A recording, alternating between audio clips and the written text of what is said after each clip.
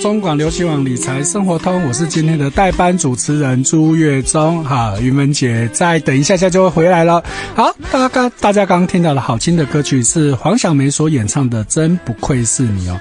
好，现在真的要能够这样轻松听音乐的机会真的是越来越少，大家看到一大堆都是那种影音的那些节目了。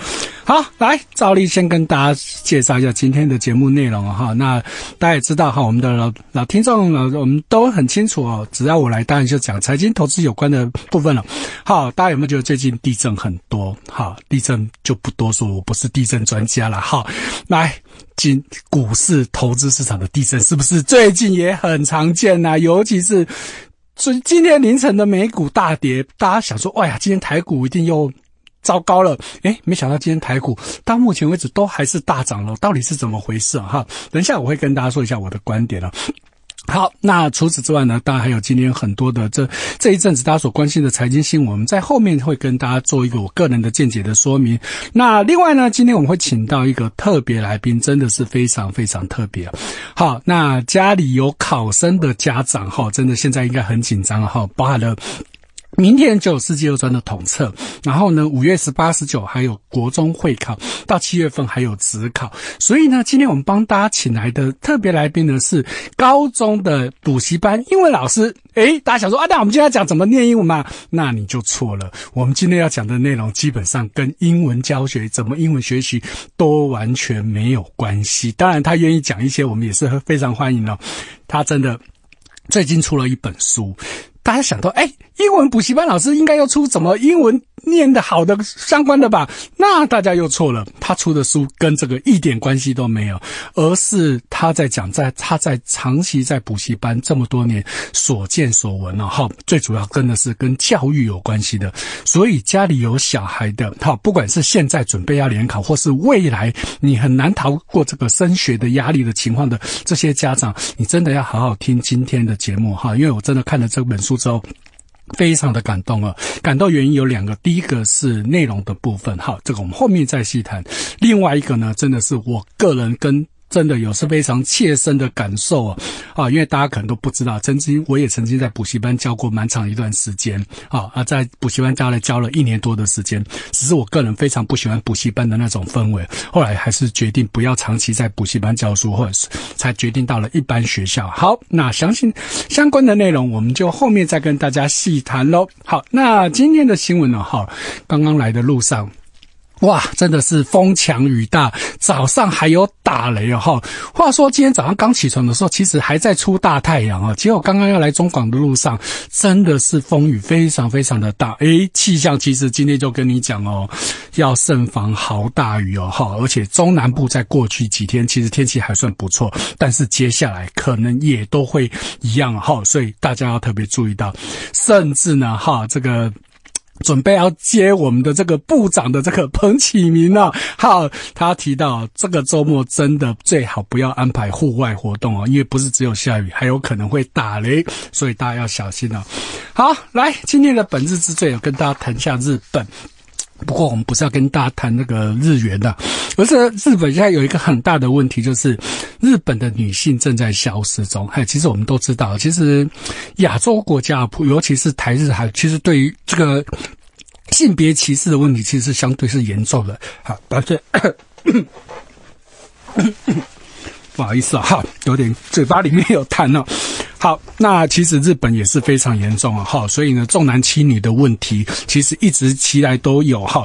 那结果呢，现在有一个报道跟我们说，日本在一千七百多个自治团体呢，预估未来大概会有四成，也大概就是七百多个，其中的这个二十到三十九岁的女性呢，都会一半都不到，甚至会有可能根本连女性都没有。那追根究底，其实就是因为大家一方面是少子化嘛，其实这个在亚洲国家，台日韩其实都非常严重啊。就以台湾来说，现在一对夫妻人均的呃平均的生育的子女已经低于一个人哦。好，其实日本、韩国也都跟台湾差不多。好，所以日本现在这个问题就告诉你说呢，这个问题呢会导致到二零五零年的时候呢，日本有很多的乡镇会。灭团，也就是消失不见了。好，因为呢，少子化的问题呢，其实，在乡下地方其实问题更大。为什么人口外流嘛？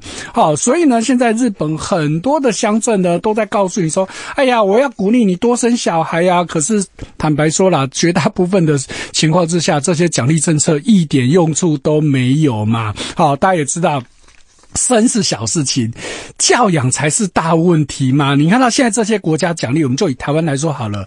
今天奖励你这些奖励能够让你养一个小孩吗？没有嘛！所以不禁让我们想到，之前不是有总统候选人就告诉你说：“哎，零到六岁国家帮你养。”哎，我我可以讲，零到六岁还不够，你最好到十八岁都是国家帮你养，大家可能才会考虑帮你生小孩啊！不能说帮你啊，大家才会考虑生小孩嘛。因为你看到，其实很多的欧洲国。家，尤其是北欧国家，人家真的就会有非常非常好的奖励鼓励生小孩，所以以前都觉得北欧国家人。比较不生喜欢生小孩，可是事实上现在并不会哦。我记得在几个月前我们来代班，那时候访问一个长居瑞典的台湾人，他其实都有谈到相信相关的问题哦。好，所以这就是今天的本日之最，真的男孩女孩一样好，能生真的是要赶快生了。好，Hello Radio 中国流行网理财生活通，我是代班主持人朱月忠啊。好，这个这段呢，我们来跟大家谈谈几个新闻啊。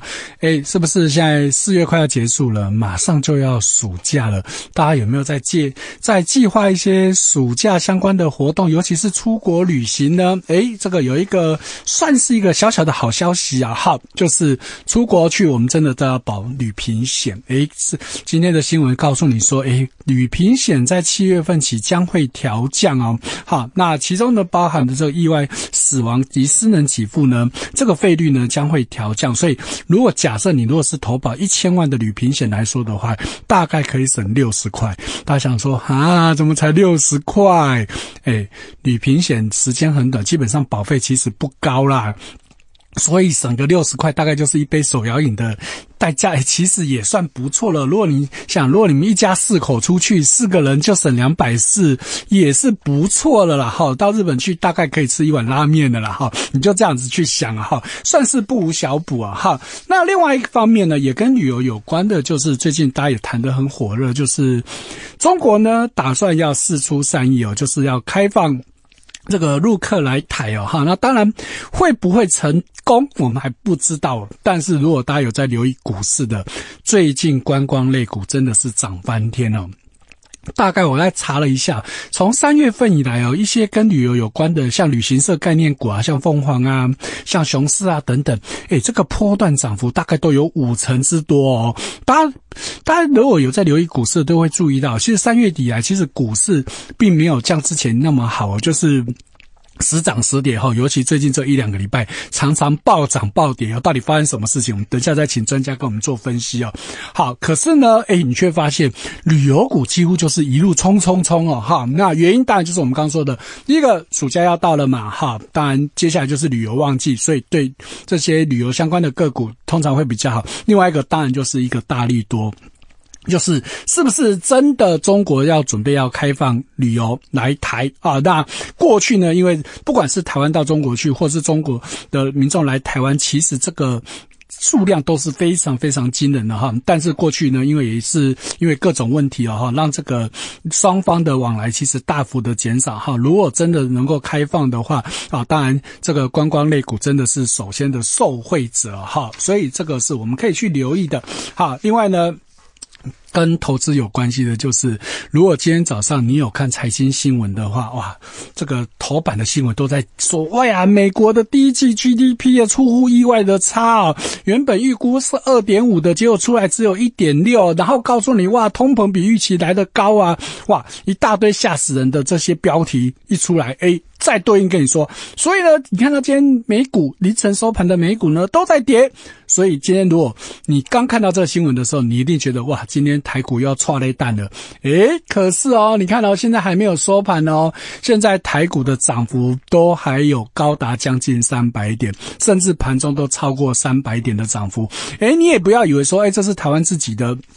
利多带动的，你看到今天的日股、韩股，其实今天的涨幅都超过一趴以上，诶，所以你会觉得很奇怪。照理说美国不好，那应该今天雅股也会不好嘛？尤其大家担心的，哇，通膨又上去了，所以降息的可能性又变低了。那不就降息可能性变低，那是不是股市就不好了呢？尤其美股真美股真的跌给你看了嘛？诶，可是。结果却不是这样子哦。好，那到底发生了什么事情？我必须跟大家讲哈，真的媒体真的写的太耸动了。因为你看到它标题说第一季 GDP 减速，可是你看到的数据是什么数据？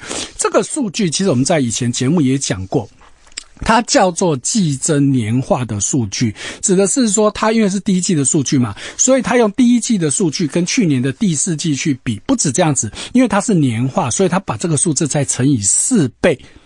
这样的数据呢，我必须说，全世界真的没有人再这样子看 GDP 数据了。你像台湾也好，或是绝大部分的国家，我们公布的都是年比的数据。年比指的是我第一季就是跟去年第一季去做比较。好，可是美国通常都会对媒体公布的是这个我们刚刚说的季比年化数据。好，所以会造成大家一个很大的误解哦。所以你应该要看的准确的数字，其实应该还是回归到我们刚刚说的。年增率的部分，所以我有早上的特别去查了一下，美国第一季的年增率其实还是高达三趴，并没有不好，跟去年的第四季三点一趴比起来，只差了一点点，而。去年第四季，第四季大家知道吗？欧美国家本来就是旺季，它的数据比较高是合理的嘛。那你第一季下来一点点，哎，其实还有三趴，你有什么道理说它不好呢？好，所以实际上呢，真的你会去看经济数据的人，你并不会觉得美国的 GDP 有什么问题。好，但是另外一个数字就比较令我们担心的，就是 PCE 个人消费价格指数，因为市场原本预估是三点四，出来的不是三点七。好。必须说，其实真正的第三月份的 PCE 今天晚上才会公布哦。可是因为它公布 GDP 数据里面呢，就会有各个分项，其中就包含了这个物价的部分，所以呢，等于提前揭露了 PCE 的数据哈。因为必须讲一下，我们在节目也讲过，一般我们看的都会是消费者物价指数当做通膨的指标，可是美国会特别关注 PCE，诶，大家会觉得为什么美国看经济数据都跟人家不一样啊？哎，这关满灾后，我等一下帮你打电话问一下拜登了，好看他会不会跟我一个解释。好，开玩笑。哎，所以呢，美国的这个经济数据，像 PC，绝大部分国家也没有人在编 PC 这个数据。可是美国跟你说，我就是最关心这个数字，好吧？所以我们就当然要关心它嘛。所以我们刚刚说，三月份的数字其实今天晚上才会公布，但是因为它一一口气就把第一季的数据整个揭露出来，而且高达三点七，哇！所以大家就开始紧张了。好。问题是，如果你真的觉得经济不好，那是不是大家觉得那经济不好不就应该降息吗？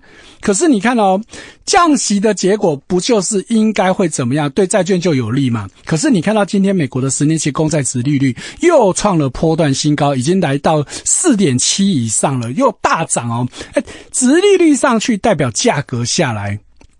这怎么看也不对嘛。好，那再来，如果你真的觉得经济不好，美元应该也有反应，可是美元其实没什么变动的。好，所以呢，简单的跟大家讲，你真的不用太担心这个现在的这些美国的经济数据。好，一点半了，我们来看看股市哦。好，刚刚讲到说昨天美股大跌，大家以为今天台股会错了一弹，结果没想到今天台股表现出乎意外的好。到底发生了什么事情呢？当然，我们要请专家来跟我们做说明啊。所以我们连线的来宾是永成。投顾的分析师李曙芳，曙芳你好，月中你好，各位听众大家好。对，今天台股到底是怎么回事？大家都以为说会被美股拖累，结果却没有。我想最近的听众朋友可能要稍微的一个转换哦。台湾的目前的股市是领先美国股市哦，也就是说，如果你看我们今天涨，美国股市晚上大概会涨；你看我们跌，大概美国股市晚上就会跌。哎，变我们领涨啊！嗯，所以大家换一下的一个想法会比较好。你看昨天我们是不是先跌？对，然后他们昨天跌嘛。是。那我们今天涨，大概表示他们今天晚上会涨。那为什么会这个样子？主要的原因是他们美国呢，在昨天里面有两家公司，一个是 Alphabet，是是。那另外的部分就是微软，嗯，它公布的财报那是非常的优于整个市场的预期，是是。所以盘后盘就呈现了大涨嘛，哈。那台湾在最近里面也蛮好玩的，为什么蛮好玩的？就是说。台湾股市在之前里面，大家在零零九四零、零零九三九在发行高股息 ETF 的时候，都是选哦，整个电子个股嘛，哈，是所以当时的电子个股被炒了一波，炒得高高的之后呢，就就摔下来了。对对，就在这一次里面，零零九四四跟零零九三四新纳入的，全部纳入资产营建哈。哦对所以在最近涨很凶最近里面，资产营建跟航空的长荣航哦，它都是涨这个。是可是我会建议大家啦，就是说，因为高股息 ETF 它的标榜就是高值利率嘛，对不对对？如果你算一下，对，像刚刚岳中讲的，如果你算一下，譬如说长隆航它配一块八，你今天要买到三十六块钱以上，嗯而且航空股在今年里面油价这么高，嗯你觉得它今年会比去年好吗？是啊，这是大家去思考的问题，因为高值利率可能是你因为你的股价低，或者是说你其实赚赚的钱，哎，真的有那么高吗？这有两个面向啊。对，所以我觉得航空个股长龙航今年的第一季赚大约一块钱是没有问题，嗯但后面几季会衰退哈，所以大家就是在小心。对一块八以上是不是就是三十六块？殖利率三十六三十六以上就不要过度的追高。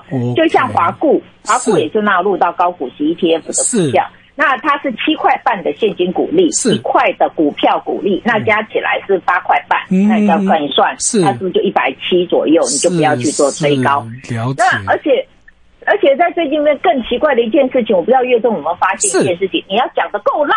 哦，呃，业绩要够烂的才会涨哦。哈，我做我做个举例，哎今天大家看到一个哎之前跌的跌翻掉的叫三四四三的创意，啊哦，它今天是涨停板的哎，是那为什么？第一季获利交出八季以来的新低，它不会再低了嘛？然后就涨停板，然后就像那个特斯拉。交出第一季展望有够烂，这一季展望也是烂，但是他说他明年会有三万块钱以下低价品那个电动车，嘣，它就涨上去了。所以我觉得在这里面，如果你真的喜欢听众朋友喜欢单冲靠，然后冲来冲去上下冲，还是以整个一个飞电为主啦。嗯如果你要长期投资的话，你可能就是选择电子个股里面来讲比较低基期的，或是利空出尽的，或是法人有买的个股里面来讲去做一些的一个操作。就像我们上个礼拜我是说啊，如果你真的不敢买啊，台积电、红海，你选一只，你去选红海，到今天的股价是创这个礼拜的新高哦。是是而且哈，所以我觉得就是你自己去选择自己适合你的个性的股票。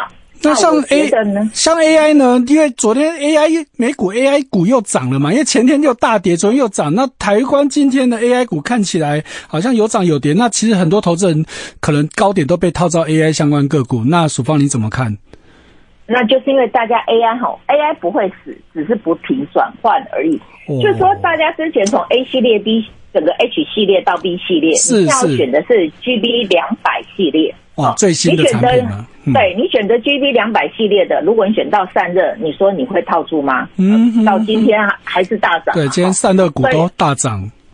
对，所以我觉得在这个时间点里面，大概有几个啦哈。一个就是说，你选择 GB 两百，GB 两百有哪些？就我上次讲的，哈，是组装里面有红海、有广达是跟伟影，是按伟影比较贵，所以我建议大家啊，红海基期比较低，你就选红海。是那 PCB 的一个部分就很多了哈、嗯 PCB 新的部分里面来讲，你做长的人你才可以选了哈。如果有一百八十块钱以下，你可以留意一下三零三七的星星。是，然后如果有跌下来，你可以留意六二一三的一个联茂。是那如果你要选择第一季财报好的，大概是六二七四的台药哈，这个部分里面会比较好一点。那整个银建跟资产个股就选殖利率哈比较属于高的，然后法人还在买的。但是当零零九四四挂牌的时候，就要比较小心一点点哈。那尽量就选择殖率还在五个 percent 以上的资产跟银建会好一点哦。是，那大家现在又要担心中东的局势，因为大家看到这这两天以色列又打黎巴嫩，现在又跟你说可能打拉法，那军工股有机会吗？呃，我我跟大家讲哈，我们要很很诚实的说，以色列比我们台湾的军工厉害啦。齁是，第一个哈，整个一个所谓的中东国家买的武器是由共产国家里面亲共的，嗯他们提供的哈，是。比如说俄罗斯啦、中国啦，哈，对不对？然后以色列是由美国提供的，那我们台湾要提供以色列什么？没办法嘛，哈对不对？然后因为以色列的科技，如果大家有去以色列就知道，以色列的科技跟国防是非常非常厉害还有医疗，哦是的，那军工国防，我跟大家讲啊，其实我之前比较偏好是在义五类，但是义五类我个人认为成交比重过热，所以不要买。军工国防成长性不够，所以你要做的话可以，但是就是区间来回操作而已哦。像这两天媒体都在讲这个造船，尤其龙德造船那个很神奇，会翻 会翻过来翻过去的。你觉得这个，因为他吃的是台湾的这个的订单嘛？那你觉得像这种类股有机会吗？嗯，今天消息都出来开高走低，那你觉得呢？哈，那我要先跟大家讲说，为什么军工国防我不太想选的原因是，如果美国是川普当选，哈，以我们台湾跟川普的个性，我们会跟他买武器。比我们自行研发武器要便宜很多了，哦，这是川普的个性，这不是说他不对，他的个性就是生意人，我们就是要买很多。所以从这样的角度，从军工国防来看，不是不行啦，因为毕竟五二零在后面，但是我觉得你就是只能低接，如果你看到利多去买，可能来讲话都不讨不到很大的便宜哦。好，那下礼拜的关盘重点，署方有什么建议？我觉得下礼拜里面来讲话，第一个就看今天下午联发科的法说会的一个内容哈。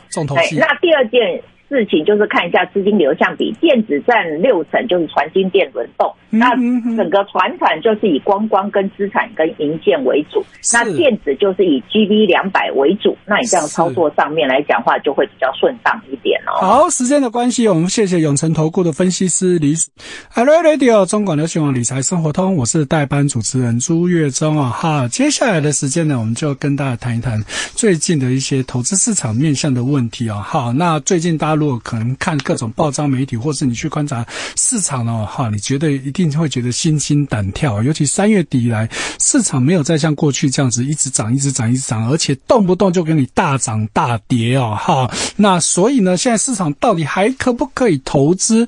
好，所以接下来这段时间呢，我就提供大家一份报告，哈，大家在国内的媒体真的是比较会少见这样的一个资料。好，这其实是美银美林他们每个月都会。针对全世界一些基金经理人去做了一个调查，而且这个调查时间已经从一九九几年延续到现在，都持续在做。好，所以今天跟大家讲的是四月份，听清楚哦，是现在刚出来最新腾腾的一个报告书啊。哈，那台湾的媒体其实都只报了其中的一点点而已哈。我特别找比较完整的资料，好，所以我们会请费龙把这个相关资料抛到我们的粉丝页上啊，请大家，如果你有兴趣的话，你可以同步跟我们看这个资料。首先，我们就先这个直接破题哦，就是到底接下来市场到底好或是不好？好，所以呢，这份报告来先给大家一个几个背景资料。这份报告的调查时间是四月五号到四月十一号，那一共涵盖了两百二十四家的资产管理公司，总管理的资产高达了六千三百八十亿美金哦。好，我想非常具有代表性，而且它当然完整的报告其实多达有三十几个。这个图表我没有办法全部都讲，因为我们时间很有限嘛，哈。那所以我挑几个我个人觉得比较重要来跟大家做分享。所以首先呢，就是我们刚刚说的直接破题，到底为接下来经济到底好或不好？好，所以就这些经理人来说呢，其实他告诉你，接下来的十二个月其实会越来越好。那其中认为经济会往下掉的哈，那。就是我们常说的所谓的硬着陆，哈，其实还是有人这么认为，但是只剩下百分之七，对应到三月的时候有百分之十一。那认为会软着陆的，就是会慢慢的下来，但是不至于说会重。重跌啊哈，那在三月份的时候是百分之六十二，但是四月份已经只降到剩五十四趴。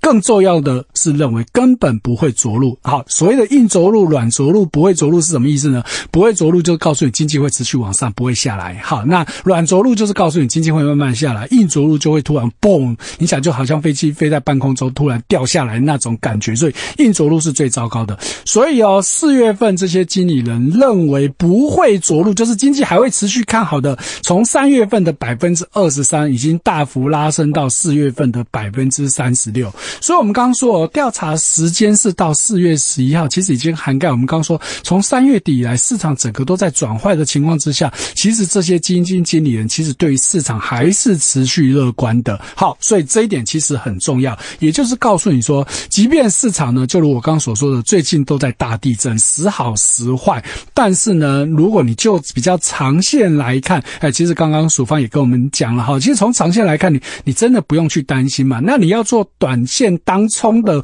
或是极短线的人，那你自己真的手脚要够快，也要看得够准了哈。那当然，我们在节目里面不跟大家讨论这个部分，我们还是比较从长期稳健来看了。好，所以呢，再对应到第二个指。这个第二个统计呢，是在调查说，那你这些基金经理人认为全球这些企业的获利未来是会变好还是变差？好，所以如果你有同步看我们这个图表的，你会看到，哎，其实是越来越好哦。哦，尤其是在二零二二年，大家如果有印象的话，当年是股债双跌，好，尤其台股当年跌了二十几趴，那债券的部分，各种债券也都跌了十趴以上，好，那时候让你觉得说，好像市场很糟糕了。哎，后来去年开始。一路反弹反弹，那到最近市场开始有比较大的震荡的情况之下，其实这些基金经理人跟告诉你 v e n g a 啦，这些全球型的这些大企业呢，其实他们的获利还是持续看涨的。好，所以这当然就告诉你说，就长线来说，其实是 OK 的。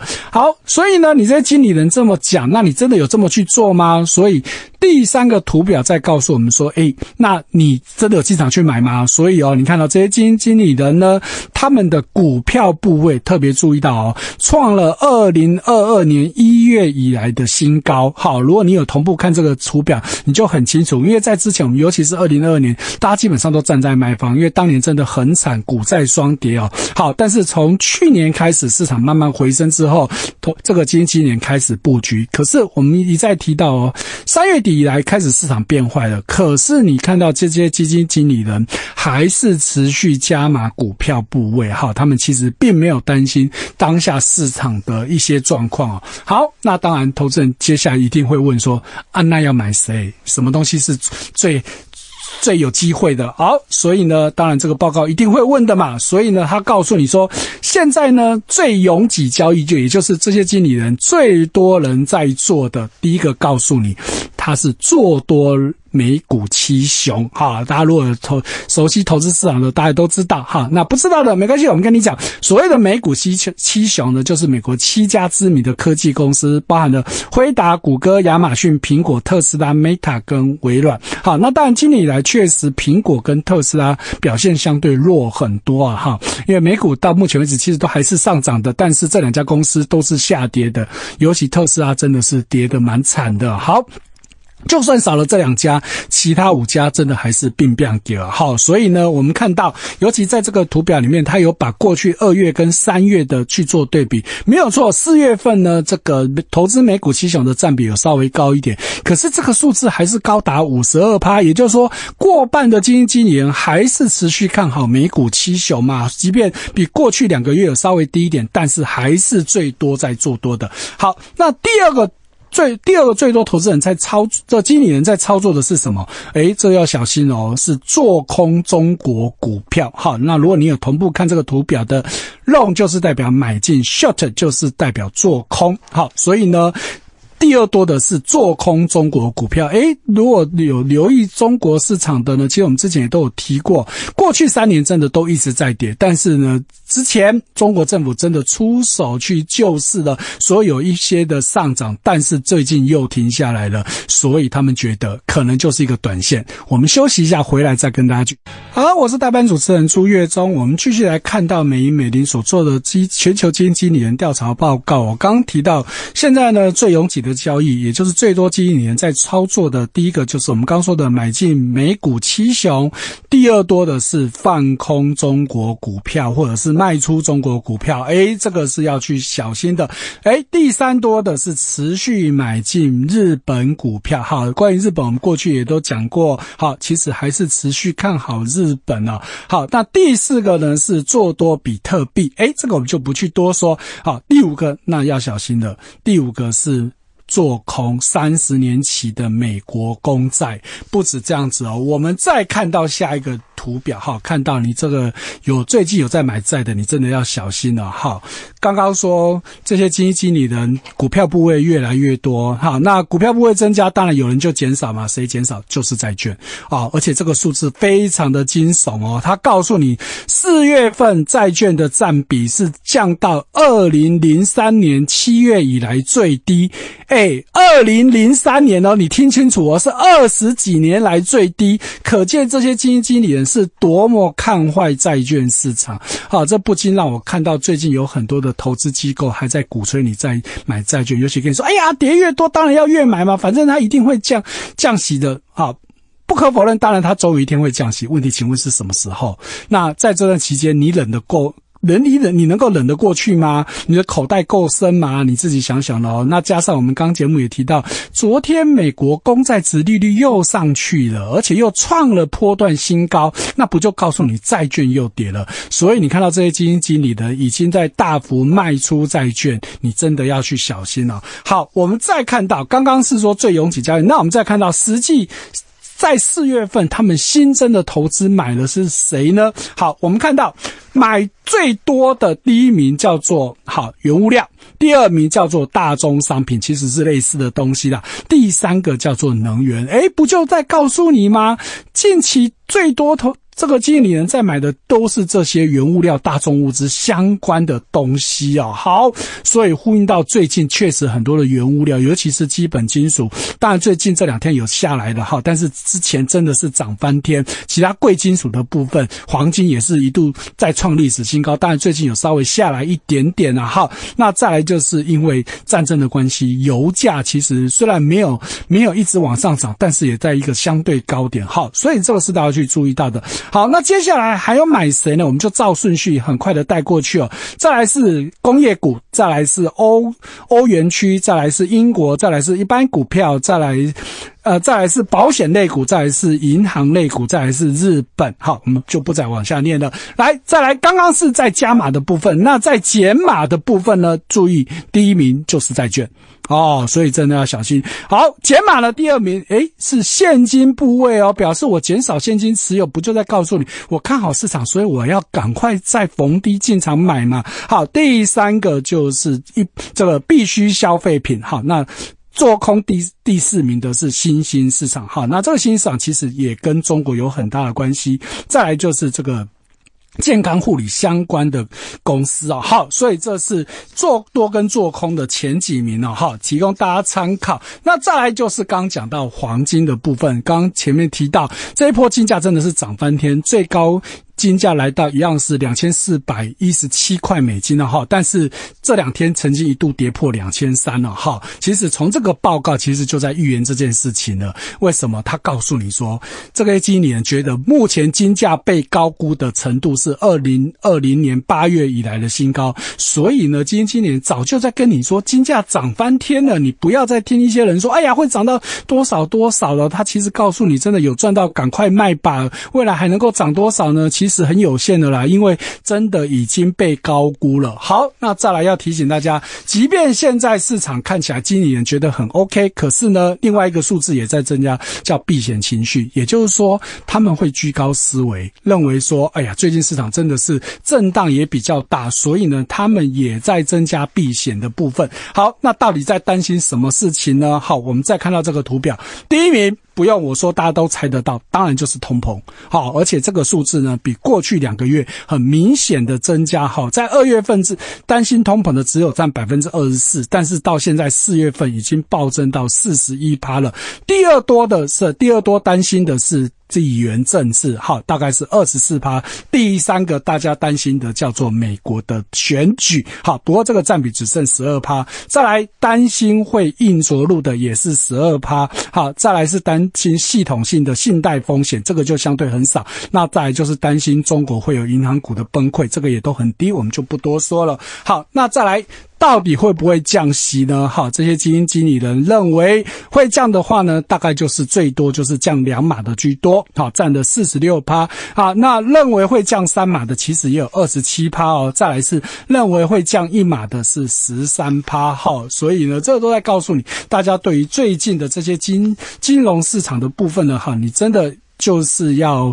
小小心谨慎啊，好，当然就短线波动比较大，但是你也不用太过担心啊，甚至真的可以逢低加码，但是千万记得，因为现在震荡很大，我建议大家真的还是要分批进场为宜哦。好，时间的关系呢，我们这一段就先到这边了，我们听一首好听的歌，张学友的《咖啡》。